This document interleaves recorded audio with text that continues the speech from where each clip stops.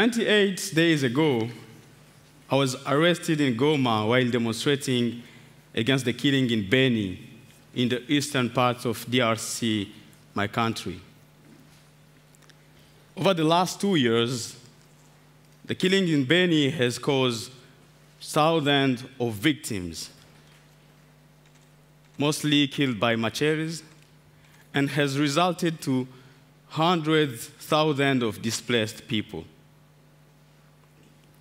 During the demonstration, the police react very violently. They arrest 30 of us, including myself. They beat some of us, and they keep us for a whole day in a small cell at a city hall in Goma. During the 10 hours of detention, I feel freer than the people who arrested me. Together with my colleague, we start singing song, telling the police that we love them, that we understand them, that our struggle was their struggle. And although the government was crushed us, we believe that our non-violent struggle was the right one, was the only way to achieve this, the, the, the change that we were seeking.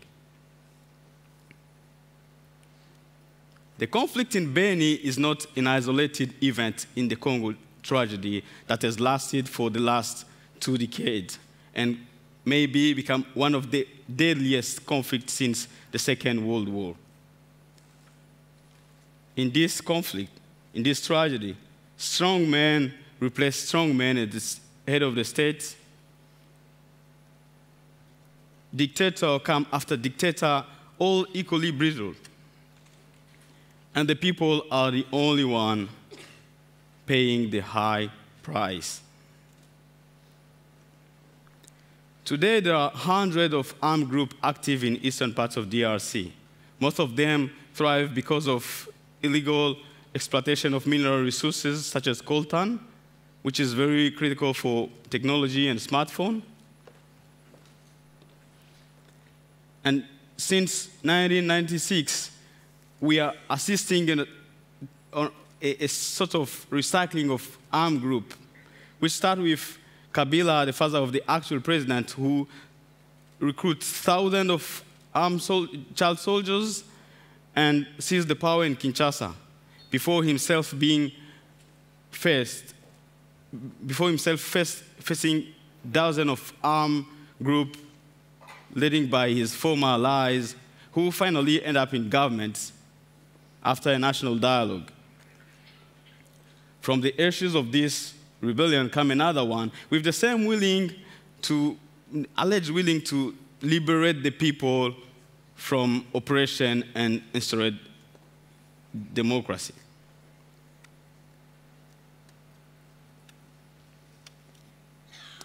But with all this violence, the people are the only one paying the price. Poverty increased significantly. Thousand women and children was raped.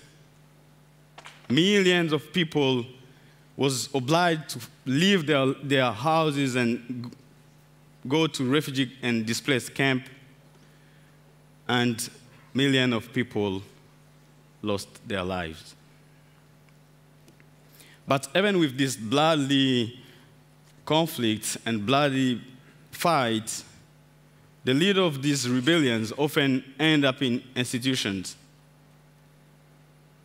And now, and despite the fact that many of them are accused of serious human rights abuse, now all these hundreds of armed groups are used as leverage of power and influence in the region, despite the fact that in theory, at least, we are engaged in a sort of democratic change since 2003. In 2012, another rebellion were active and become threatening the city of Goma where I live.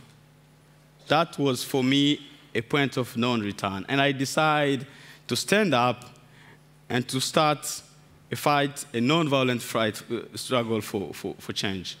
I then joined a group that already existed, but which has no name, no structure, but at least was committed to non-violence. That group became Lucha and became one of the most important movements in the country. Although some of our campaigns at the beginning was around peace and security, of course, because there was that conflict in, in the region, our main focus was on basic social need, like access to water, access to electricity, infrastructure, and employment of young people. I remember during the, the, the first campaign, our colleague put banners everywhere in the city they're now seeing unemployment rate, the unemployment rate of young people. Some of the, the, those banners end up in the hand of the intelligence forces, and they arrest some of our colleagues at the very first campaign. Many was wondering why these people, why these young people who live in the very violent region could pretend to become non-violent. Nobody understood us at that moment. People called us anarchists. Some was looking for who is manipulating these young people. In reality, we were driven by only one common vision a new Congo. A Congo with peace, a Congo with justice, a Congo without corruption, a Congo truly democratic. In 2015, it became very clear for us that the President Kabila will not leave, was not willing to leave the power, and was doing all he could to keep the power, despite the fact that the constitution doesn't allow him to stay. So what was seen as a democracy, a, a democracy turned very quickly into a dictatorship. We decided to oppose him and to protect our constitution. This was a big decision, and it has dire consequences. Many of us was arrested, many was kidnapped, and many spent weeks, months, and even years in jail.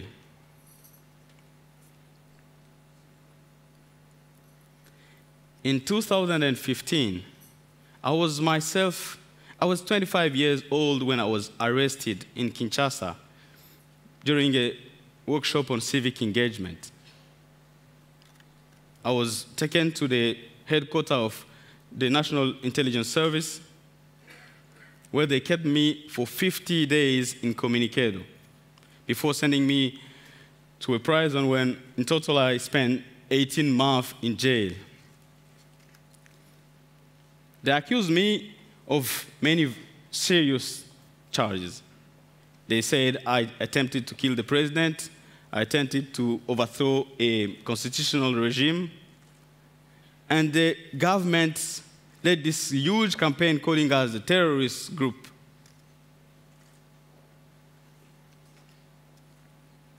Many months after, thanks to the campaign of, uh, thanks to the pressure of many countries, NGOs, and my fellow activists from Congo and everywhere, we were finally freed. In 2016, the mandate of the President Kabila ended and he refused to leave the power. So we started organizing huge demonstrations calling him to leave. And the repression over escalated at that time. Many, many of us were arrested again and some were killed. Early this year, one of our colleagues, Rossy Mukendi, who was a 36 six years old activist and leader of the movement Collectif Demi-16, was killed, was killed during a demonstration. Rossy was a young man, brilliant, a father of a father and a husband. When finally few weeks ago, our colleagues brought him to cemetery. The government threw tear gases to the mourners and confiscate his coffin.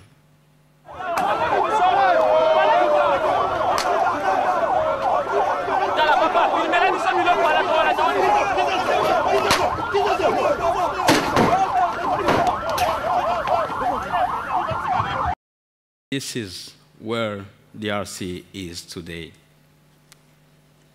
And to remind you, my country is called Democratic Republic of Congo.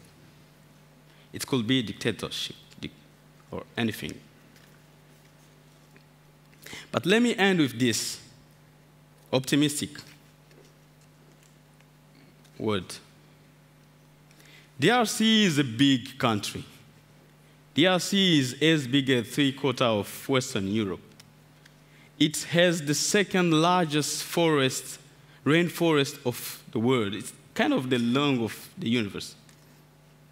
It has an agricultural potential that could feed all the continent. It has energetical potential that could light all the Africa. It has brilliant people, creative people. DRC could become the most beautiful place to go. But for that to happen, it needs good governance, it needs justice, it needs to end corruption. But more than anything, DRC needs global solidarity. DRC needs you and me. DRC needs people like you and me to stand together and fight for the change in that country. DRC can only count, count on people like citizens like you and me because you know this is not about statistics. When we talk about 100,000 of displaced people, not statistics. It's human being. They deserve peace. They deserve dignity. And they only count on people like you. Because we are the people because we support each other, because we are the people, and the people always win, and we won't stop until we are free. Thank you.